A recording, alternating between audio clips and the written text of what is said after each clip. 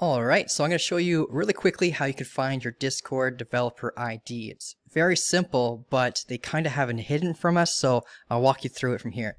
Uh, so basically, on the bottom left hand side of your Discord, you're going to see your user profile. What you're going to want to do is click on user settings right here, this little gear icon.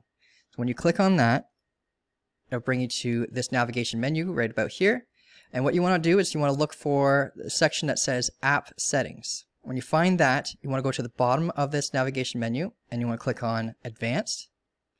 And then from here, you want to make sure that you have your developer mode turned on. When you have this turned on, it's going to access, it'll allow you to access a bunch of new um, menu items from over here. Because you'll notice that my menu is a little bit different than yours, but the moment you click on this, it's going to unlock all those changes.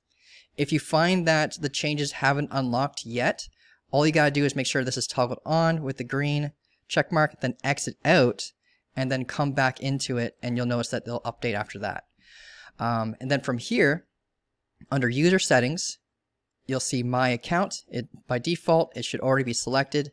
And then under your username, right here, you'll see three dots. And you want to click on that three dots, click on copy user ID, and it's going to copy a long string of numbers, and that's your developer user ID. And then from there, you'll be able to use it to um, get access to like more APIs. You can do a lot of changes in developer settings.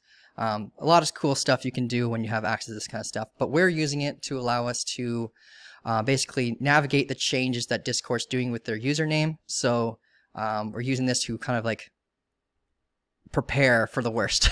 so just click on here, copy user ID, and you're good to go. Thanks, guys.